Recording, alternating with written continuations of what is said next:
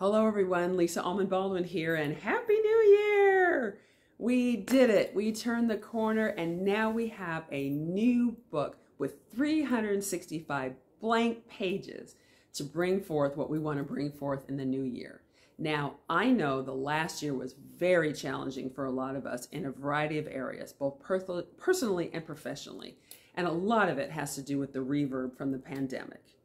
However, what I want to share with you today is a highly effective strategy for how to not just survive, but thrive in the midst of those changes while also cultivating more mindful, purposeful, and effective leadership skills. So the first step is to recognize and understand that change is inevitable, but growth is optional. Let me say that again. Change is inevitable, but growth is optional.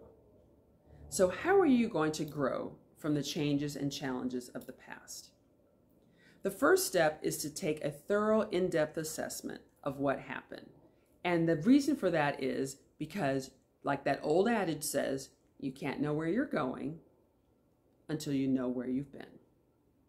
So, I want you to take just a moment to bring to mind the biggest change or challenge you experienced in the past year.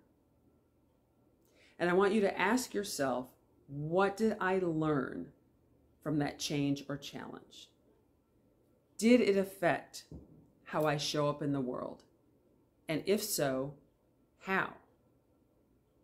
Now, looking at your leadership skills in your career or in your uh, area of expertise, if you had to describe your leadership skills in a few words, what would they be?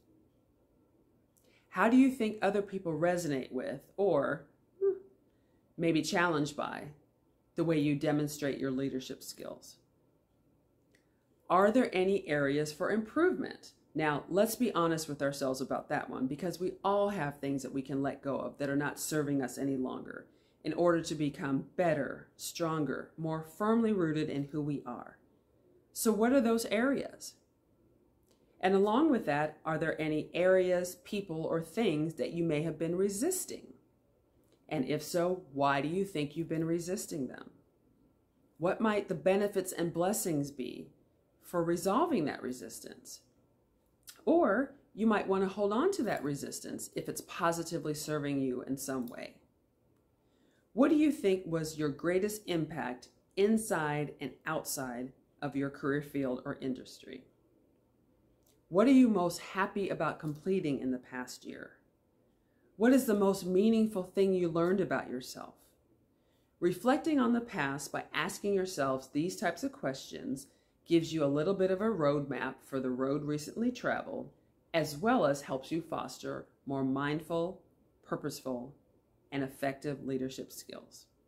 So again, the strategy is to recognize and understand that change is inevitable, but growth is optional.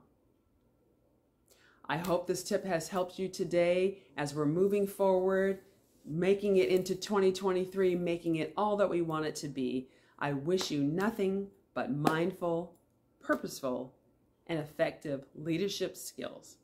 Bye bye. I'll see you in the next video.